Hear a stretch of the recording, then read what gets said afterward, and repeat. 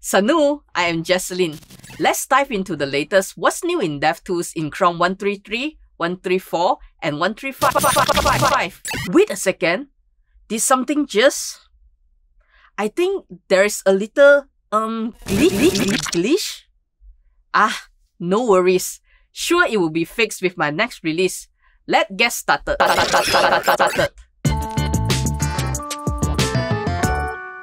After AI assistance for styling, network, sources, and performance landing in Chrome 132, we have listened to your feedback and added some small quality of life improvements. Conversations in the AI assistance panel are now persisted locally on your device, so you don't lose them, even after closing Chrome. Click the history icon in the top left corner of the AI assistance panel to show a list of your past conversations. Select any conversation from the list to restore it. Since the conversation context element might be gone by now, you can continue past chats. Use the trash can icon to delete all of them. For AI assistance for performance, we learned you want to chat with more than just one activity from a performance profile. While your chat is going, you can now select any other activity from the same profile and continue the conversation. No need to start a new one. But we also brought a bunch of non-AI improvements to performance debugging. What do you think, Jess? With the performance panel, we want to make it easy for you to focus on your own code and not the things you have little control over anyway, like third-party code. So for better focus, you can now add irrelevant scripts to the ignore list right here. Type a regular expression in the input field. The flame chart will apply the new rule as you type and automatically collapses matching scripts. Out of sight, problem solved, right? Not really.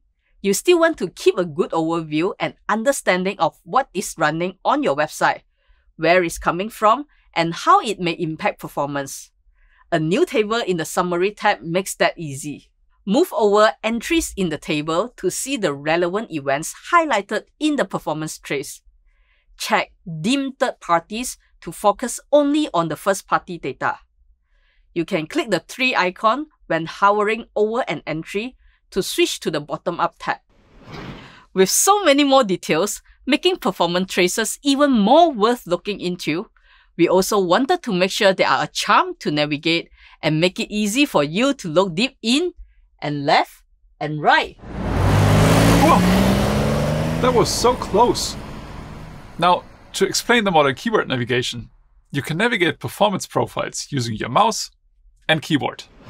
For the longest time, you could scroll up and down to zoom in and use the arrow keys to navigate left and right.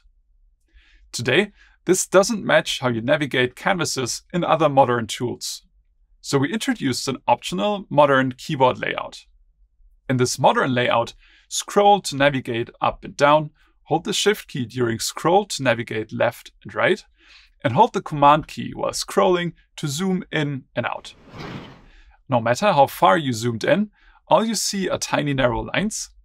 Then your machine might just be too fast. Even long tasks are performed in a split second.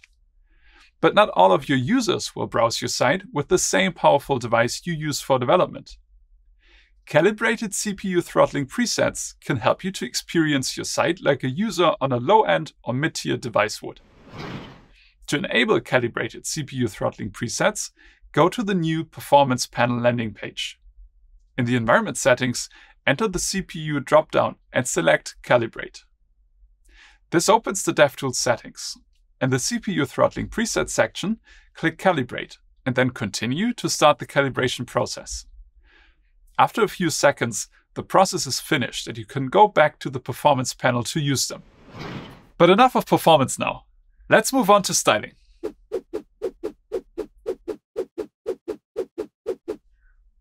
Thanks, Matthias. Starting with Chrome 134, DevTools now supports freezing the open pseudo class. When inspecting an applicable element, like details, select, or dialog, go to the Styles tab and open the state menu toggle the open pseudo class to force the open state, independent of your other interactions with the page.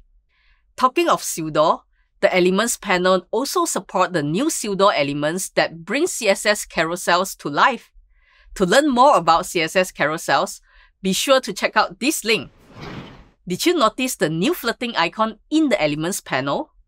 That's right, you can now toggle between the DOM tree or the accessibility tree view. The new full accessibility tree synchronizes with the DOM tree so you can switch back and forth between the two trees. We hope that the new tree will be more explorable, useful, and easier to use. Previously, you could only explore a single node and its ancestors in the Accessibility tab. To learn more about the Accessibility tree and how to utilize it, check out this link. Mm, Matthias, you are taking privacy a little too seriously lately. I take everything seriously that DevTools takes seriously. With the updated security panel, which is now the privacy and security panel. With the new privacy section, we give you a direct and quick control on cookies. Open the privacy and security panel and click controls in the privacy section. Toggle the checkboxes to temporarily limit third-party cookies with or without exceptions and test how a website behaves. Click third-party cookies to get a quick overview of the same and see whether they were blocked or exempted by the temporary limit mode and what type of cookies may be impacted. Alright, it's time for the bonus tip. What if you can copy all the console logs with one click instead of copying them one by one? Go to the console and right click. In the context menu, select Copy Console to copy all currently displayed messages at once. This is especially helpful if you want to use them with Gemini or share with someone else.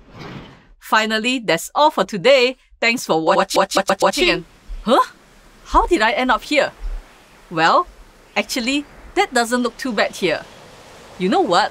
Maybe after 40 international greetings and episodes, it's time for me to move on. I will hand this over to Matthias for a while. See ya!